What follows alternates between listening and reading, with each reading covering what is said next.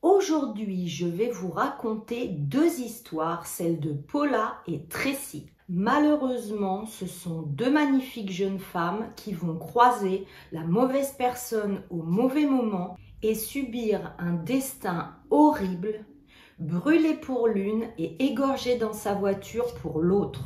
Voici les deux histoires horribles de Paula et Tracy.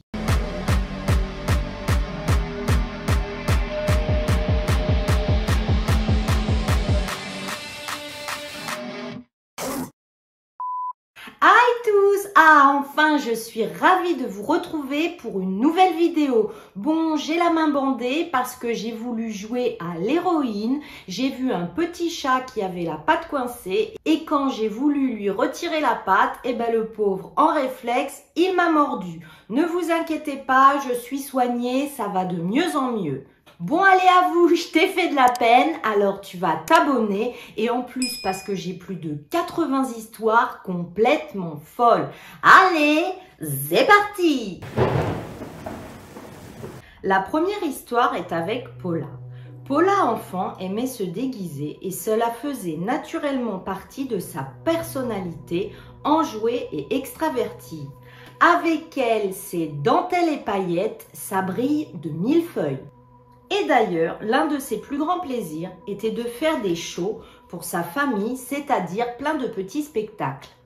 Sa mère et sa sœur ont rappelé son engouement pour le glamour et donc les paillettes, et cela, comme je vous l'ai dit, date de son enfance. Son parcours pour devenir une femme autonome a commencé lorsqu'elle a déménagé en Californie pour obtenir un diplôme d'infirmière. Elle va pouvoir financer ses études grâce au mannequinat et plus précisément, elle fait des photos en maillot de bain et en petite tenue sexy. Elle fait donc des photos de maillot de bain et de sous-vêtements et elle sera même danseuse exotique. Paula a d'abord auditionné pour le magazine Playboy, mais elle n'a pas été acceptée pour être playmate officielle. Malgré cela, Paula est apparue au moins dans une de leurs vidéos en 2003. Puis Paula va avoir un petit ami, Kevin Klein, un beau brun ténébreux. Ils vont décider de partir en voyage pour le réveillon du Nouvel An en 2010. Tout ça va commencer avec les meilleures préparations. Ils sont trop heureux de partir en voyage pour le Nouvel An.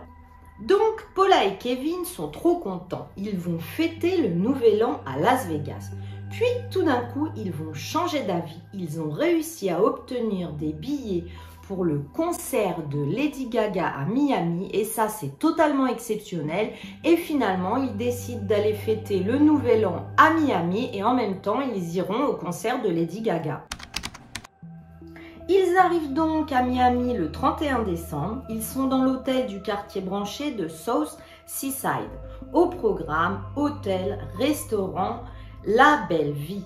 Mais apparemment, le couple va passer aussi beaucoup de temps à sortir en boîte de nuit et boire plus que de raison et ils vont commencer à se disputer. En effet, la recette mélangée alcool et boîte de nuit va attiser la colère et la possessivité de Kevin, le petit ami de Paula.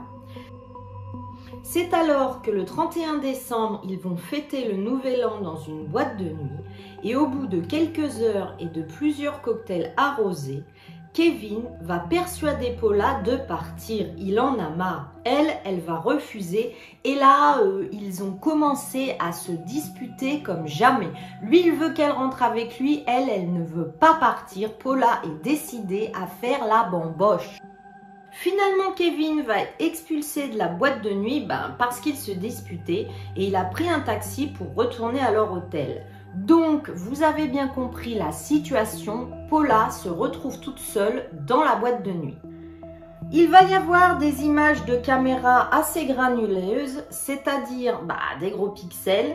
Ces caméras de sécurité montrent que Paula va quitter la boîte de nuit vers 7h20 le 1er janvier 2010.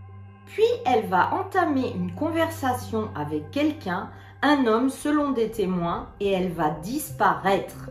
Littéralement, totalement disparaître. Lorsque Kevin se réveille, bah, il va découvrir que Paula n'est pas là, qu'elle n'était pas rentrée à l'hôtel. Il a commencé à lui téléphoner et à la chercher dans l'hôtel. Sans succès. Dans l'après-midi, très inquiet, il va appeler la police. Il rappellera même la police plus tard quand il verra que l'enquête n'avancera pas et il engagera même un détective privé. Revenons aux caméras. Sur un film de caméra de sécurité en noir et blanc, Paula est vue en train de marcher dans la rue avec une personne derrière elle. Est-ce que cette personne est en train de la suivre? 14 heures plus tard, après que Paula ait quitté la boîte de nuit et que l'on est sans nouvelles, une personne du nord de Miami va appeler la police. Il y a le feu dans une benne à ordures. Et oui, car on est dans une DPAE et là ça tourne vinaigre, vinaigrette. En effet, ils ont découvert le corps gravement brûlé de Paula quelques heures plus tard dans cette fameuse benne à ordures du nord de Miami. Ses bijoux personnels et dossiers dentaires ont confirmé son identité il s'avérera que les dommages physiques étaient si graves que les autorités n'ont même pas pu déterminer comment elle était décédée. Ce meurtre, diront-ils, était d'une violence inouïe. Son petit ami Kevin et sa famille, sa mère, ses sœurs, étaient totalement sous le choc d'une telle horreur. La sœur de Paula, Kelly, s'est rendue plusieurs fois dans le sud de la Floride sensibiliser le public à l'affaire et demander de l'aide. S'il y avait un témoin, il fallait qu'il parle. Klim Kevin a d'abord été traité comme un suspect au milieu des informations selon lesquelles lui et Paula avaient une relation chaotique, mais il a été ensuite innocenté puisque les caméras de l'hôtel montrent qu'il est bien rentré dormir et que son téléphone borné dans l'hôtel et en plus il n'apparaît sur aucune des caméras de surveillance qui suivent Paula sur son trajet. La police va ensuite publier un croquis d'un suspect qui, selon son petit ami, ressemblait à un videur de la boîte de nuit. Les employés ont déclaré que la personne vue sur la vidéo ne travaillait pas dans leur boîte. Mais alors, qui est-il? Est-ce que le petit ami d'Ivré, il a bien reconnu un membre du personnel? Est-ce que la boîte de nuit d'Ivré, et ce n'est pas quelqu'un qui travaille chez eux, ou protège-t-il quelqu'un? Trois videurs ont déclaré avoir vu un homme s'approcher de Paula dans la rue et lui parler avant de repartir avec elle. Son petit ami, malheureusement, lui avait confisqué son téléphone lors de la soirée et quand il est reparti à l'hôtel, il a oublié de lui rendre. Ce qui fait que ça va priver la police bah, du bornage du téléphone de Paula. La police dira qu'il y a trop de possibilités. Étant alcoolisée, Paula aurait pu sauter dans un taxi, se faire conduire par quelqu'un en voiture, suivre un groupe de jeunes fêtards ou partir avec une femme ou un homme, tout est possible. Nous n'en savons pas plus à l'heure actuelle car toutes les vidéos, comme je vous l'ai dit, sont hyper floues et que le corps brûlé de Paula n'a aucun ADN. Donc, si j'ai des nouvelles, comme d'habitude, je vous tiendrai au courant en épingle sous la vidéo. Mais ce n'est pas fini car il y a des embrouilles dans la famille de Paula. Fox 2 de Détroit rapporte que la sœur de Paula, Kelly Faris, et sa mère, Patsy Watkins, ne se parlent plus. Il y a embrouille dans la famille. Après s'être disputé les affaires personnelles de Paula, parmi les objets des dizaines et des dizaines de boîtes non ouvertes de Barbie de collection qui ont une très grande valeur. Il y a aussi une décapotable Mustang rouge cerise. Kelly Faris, la sœur, a récupéré les objets chez Paula lorsqu'elle craignait que sa mère ne prévoie de les vendre aux enchères. Kelly la sœur a mis près de 14 000 dollars de son propre argent en récompense à une personne qui pourrait donner des informations sur le tueur bah, de Paula. Sa sœur décidera aussi de conserver la collection de Barbie de Paula puisque c'est le seul souvenir qui lui reste de sa sœur. Quant à elle, la mère dira J'ai l'impression d'avoir perdu mes deux filles puisqu'il y en a une qui malheureusement a été tuée et que l'autre ne lui parle plus. Voilà, c'est ainsi que se termine cette première histoire, mais il y en a une deuxième. Parce que j'ai estimé que comme la première était courte, eh ben, j'allais vous offrir une deuxième histoire. Allez, c'est parti pour la deuxième histoire. Tracy Mondabus avait 46 ans au moment de son meurtre et résidait à Pella, Iowa. Mais qu'est-ce qui est arrivé à Tracy pour qu'on arrive à la tuer? En plus, Tracy, 46 ans, était assez connue dans sa communauté en raison de sa nature généreuse et bienveillante. Ceux qui connaissaient Tracy ont mentionné qu'elle était toujours prête à aider les personnes dans le besoin. Oui, j'ai l'impression qu'à chaque fois qu'on raconte une histoire, c'est toujours les plus gentils qui malheureusement se font tuer.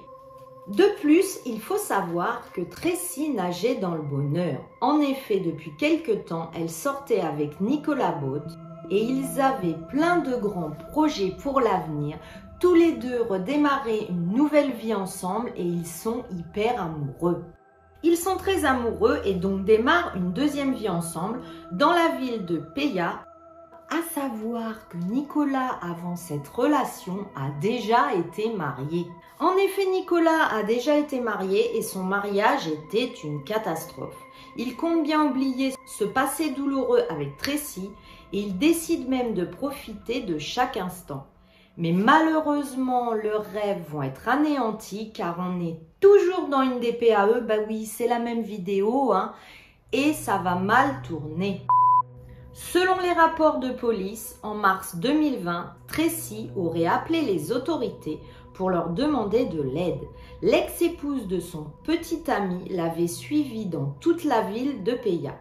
Elle vivait un véritable harcèlement de la part de l'ex Michel proférant des menaces et ne supportant pas que son ex-mari refasse sa vie avec elle.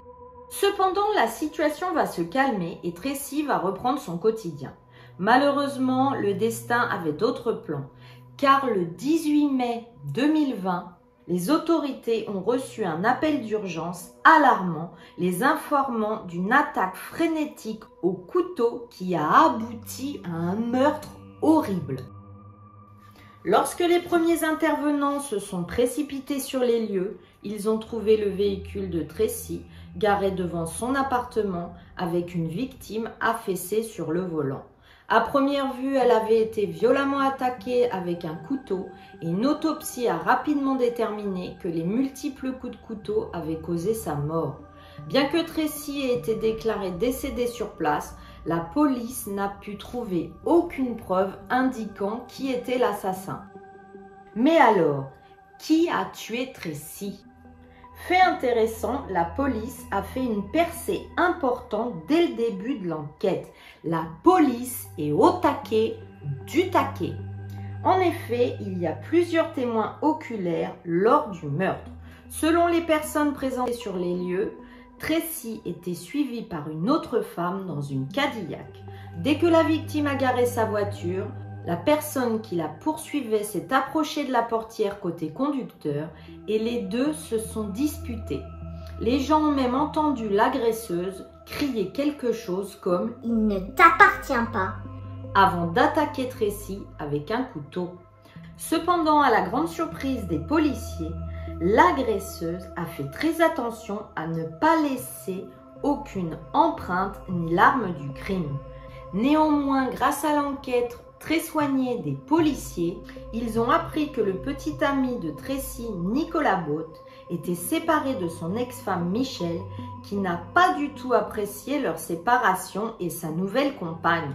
Selon certaines informations, Michelle était assez amère à propos de la relation de son ex-mari avec Tracy Mondabos. Les rapports indiquent également que Michel avait même traqué Tracy avant le meurtre. Alors que Michel avait un motif parfait pour le meurtre, elle correspondait également à la description de tous les témoins, bah, ce qui a aidé la police à décider de l'emmener pour un interrogatoire. Une fois que les agents ont atteint la résidence de Michel, ils ont remarqué qu'elle avait une Cadillac. Ça commence à faire beaucoup de petits détails qui ramènent tous à Michel. En plus, la Cadillac avait des éclaboussures de sang frais et elle-même en avait sur son corps. Après une fouille rapide de sa maison, il s'est révélé qu'une paire de gants en caoutchouc a été trouvée totalement ensanglantée de plus, les policiers ont également pu mettre la main sur des images de vidéosurveillance que prenait Michel de Tracy, indiquant que le meurtre aurait même pu être pré-planifié. Ainsi, avec toutes ces preuves, les autorités ont arrêté Michel Baud, oui parce qu'elle a conservé euh, le nom de son ex-mari, ils arrêtent donc Michel Baud et l'accusent du meurtre. Non mais là, euh, moi je vous le dis, la Michel, euh, entre ses deux oreilles, là, ça tourne pas rond, ça tourne boule pas très rond. Hein. Reprenons. Une fois produite au tribunal, la défense de Michel Baud a affirmé qu'elle avait perdu la raison après avoir réalisé que son mari l'avait quittée au milieu de la pandémie. Genre, le Coco-19 l'aurait paniqué davantage qu'une simple séparation en temps normal sans épidémie. Et que s'il l'avait quittée en temps normal, sans maladie, sans pandémie, elle n'aurait pas perdu la raison. Donc c'est la faute de la pandémie et pas de sa faute. Cependant, le jury a considéré le crime comme prémédité et a condamné Michel pour le meurtre au premier degré. En conséquence, elle a été condamnée à une peine de prison sans possibilité de libération conditionnelle. Ainsi, Michel Baud reste actuellement derrière les barreaux de l'Iowa Correctional Institution for Women à Mitchellville, Iowa, comme je l'ai dit. Et perpète, c'est perpète. Et voilà, ces deux horribles et tristes histoires sont terminées. Mais d'abord, dites-moi si vous pensez que pour Paula, c'est peut-être un employé de la boîte de nuit qui l'a exécuté et qui serait protégé par les patrons. Dites-moi ce que vous en pensez. Et pour la deuxième histoire, mais moi, ça me glace toujours le sang quand des personnes se séparent et que l'autre est jalouse de la nouvelle compagne ou compagnon et l'assassine. Mais dites-moi ce que vous en pensez. Dites-moi aussi si vous connaissiez les histoires, les deux, l'une ou pas du tout. Et vous en conviendrez cette fois-ci, comme c'est des histoires de nana, hein, on va laisser un emoji nana, une petite bonne femme. Et puis si vous le trouvez pas, vous m'en laissez un autre. Si vous ne l'avez pas encore fait, mais abonnez-vous parce que c'est la meilleure chose que vous puissiez faire pour m'aider parce que je m'aperçois qu'il y a beaucoup de gens qui regardent mes vidéos et toutes mes vidéos et qui ne sont pas encore abonnés. Donc laisse-moi un pouce en l'air, abonne-toi et clique sur la clochette. Je vous remercie bien sûr comme à chaque fois pour tout votre soutien et tous vos commentaires. D'ici la prochaine fois, prenez bien soin de vous. Pensez à regarder derrière vous quand vous montez dans votre voiture. Bye bye